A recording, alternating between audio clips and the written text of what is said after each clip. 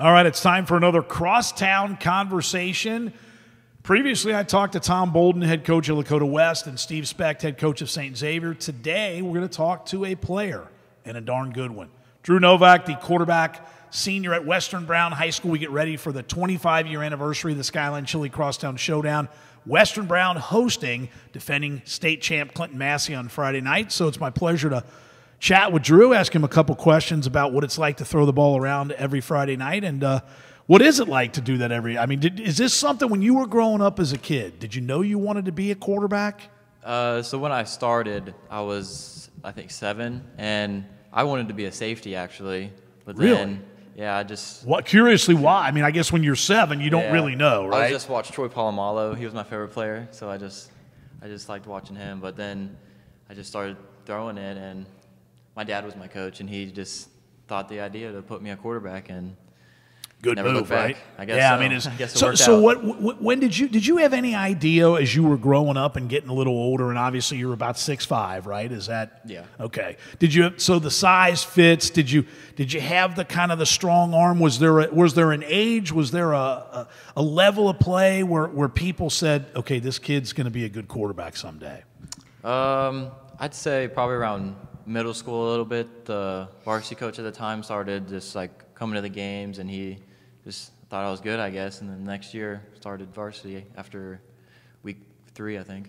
So I guess it's pretty good when you've passed Ben Roethlisberger and Joe Burrow, uh, just two just random Ohio high school names, which you did. I mean, you, you're now number three on the all-time career passing list, and unless unless literally you play about 50 more games, you're probably not going to be number two or number one because it's it's insane. You're closing in on 12,000 career passing yards, but maybe not now. But do you ever sit back and go?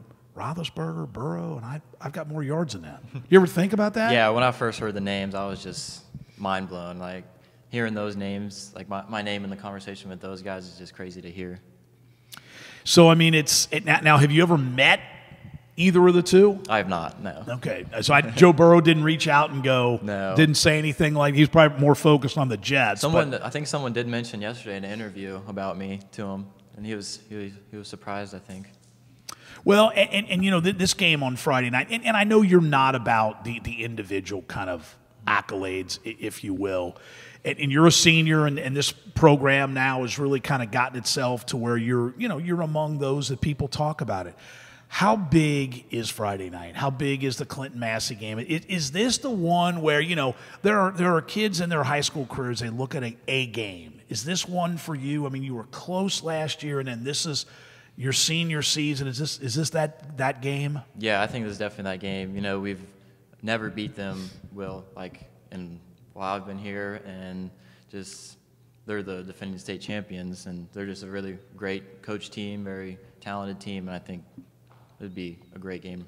Now, just think if you had been the quarterback of Clinton Massie, it would be a whole different story, wouldn't it? I mean, Yeah, they've completed they've completed what seven passes all year. But talk, talk about the, the guys for you, your receivers and your offensive line, because I know obviously if you watch any games, you have to have the offensive line, you got to have the time to throw, and then you got to have the guys to go out and catch the ball. Yeah, they do a great job. You know, mainly, mostly seniors, all experienced. The receivers, you got, we got Matt Fry, Isaiah, Isaiah Smith, Zach Chisman, just some of those guys. And then the line, they do a great job giving me time to throw the ball. It's just for an offense, everybody has to do their job for us to be successful, and I think they've done a great job with that this year. How, how big and how cool will the atmosphere be Friday night? I mean, it's you're, you're accustomed to this, while most schools don't know anything about Brown County Fair Week. Yeah. Western Brown certainly does, but you know it'll be a great atmosphere. You know Clinton Massie, and you know we talked to Coach Nick Osborne, and you look at their two and four record, and they're not a two and four football team. They've obviously played a difficult schedule, but for you to get over that Massie hurdle against their defense, what do you individually have to do? Uh, I think it's just keeping everybody under control, you know, not like getting stupid personal fouls or nothing, or just like thinking, oh my God, this is the state championship, just keeping everybody calm and collected. So now, how about you as a quarterback? Do you have a favorite quarterback? Quarterbacks are there guys that you, when you determine, okay, I'm going to be a quarterback, guys you tried to emulate? Uh, I'm a big Trevor Lawrence guy. I've been a fan of him since Really? like his senior year of high school. I think. Yeah, I think we're built alike, and try to model my game a little bit after him. Hair a little bit, too, A little maybe bit, a little bit yeah. having okay, got the maybe not as long as Yeah, Lawrence, not but uh, quite. and he's off to a pretty good start. Oh, yeah. which goes to show you again. You got to get some guys around a guy to give him a chance. So now, obviously, you want to play at the next level, and and and and you know you've got the size, you've obviously got the numbers. What do you find? And it, it's I, I know it's. I'll use Drew Drew Ramsey, who was a Mister Everything for Elder, and had to, you know really didn't get any offers. Had to be a, a walk on at the University of Cincinnati after putting up. He was back to back.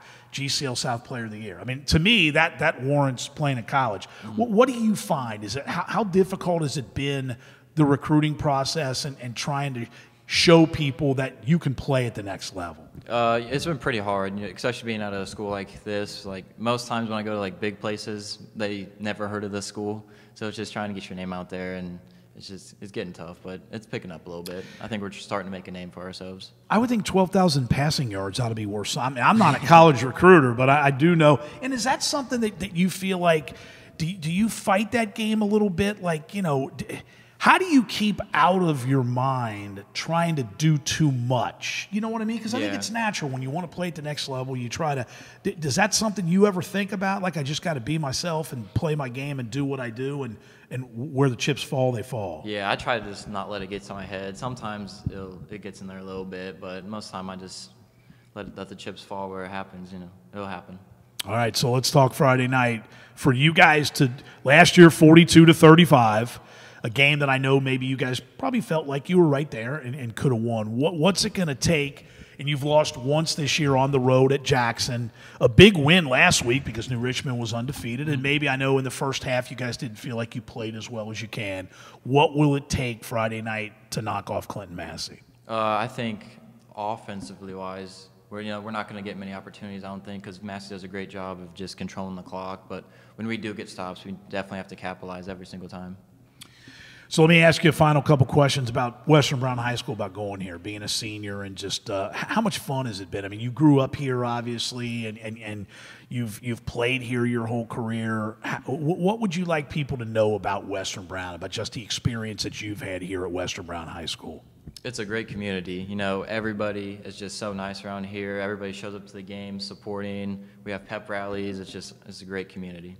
And speaking of pep rallies, we'll have one coming up. I know you guys enjoyed that. I, th- I believe you were our trivia contestant last I was year. not. No, you weren't. Cameron Weil. Okay, all right. So I wasn't a question though. You okay? You were in a question, so and, and who knows, you might sneak your way in there this time. But we'll be at the Mount Orab Skyline Chili a little bit later for a uh, for a pep rally. But no, con- congratulations on a great career so far, and Thank uh, you. Best of luck Friday night. And uh, I think he doesn't know, and and I believe him. He's he needs 155 yards to become number three next up on the list. So uh, good luck on Friday. Good luck the rest of the year, and we'll see you out here.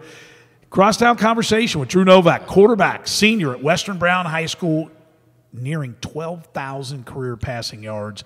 This has been a Crosstown conversation as we celebrate the 25 year anniversary of the Skyline Chili Crosstown Showdown, presented by Mercy Health Orthopedics and Sports Medicine. Good Mercy Health School here, too. Western Right. Brown and Meijer. We'll see you at the game Friday night.